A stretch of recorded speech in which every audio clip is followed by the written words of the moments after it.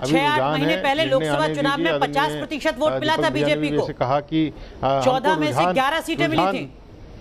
मैं मैंने कहा कि रुझान है निर्णय आज देखिए आप आप दोनों चुनाव को कंपैरिजन मत कीजिए। उसका कारण ये है कि लोकसभा चुनाव के विषय अलग होते हैं विधानसभा चुनाव के विषय अलग होते वही हैं। राज्य के विषय आपसे समझना लड़ा चाह रहा हूँ, है कमी तो? विषयों पे लड़ा जाता है।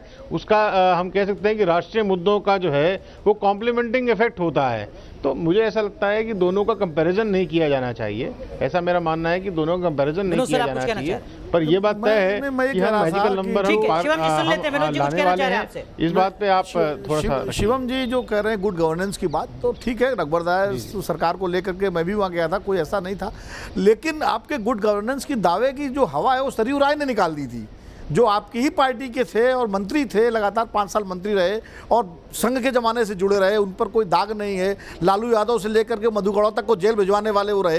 तो वो जब पार्टी से बगावत करके आया उन्होंने जो आरोप लगाए रघुवरदास सरकार पर और जिसको आप लोगों ने बिल्कुल अनदेखा किया उससे आपका काफ़ी नुकसान हुआ। आपके गुड गवर्नेंस का दावा जो है वो कमज़ोर हो गया ये मैं कहना चाह रहा हूँ। और क्या आदिवासियों की नाराज़गी अलग अलग कानून और पॉलिसी को लेकर आपको लगता है वो भी गुड गवर्नेंस के नाम पर एक झटका साबित हो रही है? निश्चित रूप से आदिवासी खासकर सीएनपीटी और सीएनटी और एसपीटी एक्ट में जो बदलाव की कोशिश पहले अर्जुन मुंडा सरकार ने की थी, बाद में रघुवरदास जी ने भी की थी, लेकिन उस भारी विरोध के कारण वापस लेना पड़ा। वो भी एक बड़ा मुद्दा आदिवासियों में बना कि कहीं ना कहीं हमको जो हमारी ज़मीन से बेदखल करना चाहती है भारतीय जनता पार्टी। हालाँकि वो एक विकास का एक मुद्दा है कि चूँकि जमीनें नहीं मिल पाती हैं, इसलिए डेवलपमेंट का काम नहीं हो पाता, ये एक इशू है। लेकिन आदिवासियों के बीच में ये संदेश गया कि भाजपा जो है उद्योगपतियों और व्यापारियों के पक्ष में काम कर रही है। इसकी वजह से भी आदिवासियों में एक नाराज़गी थी। इसको समझने में वहाँ का स्थानीय नेतृत्व तो नाकाम रहा।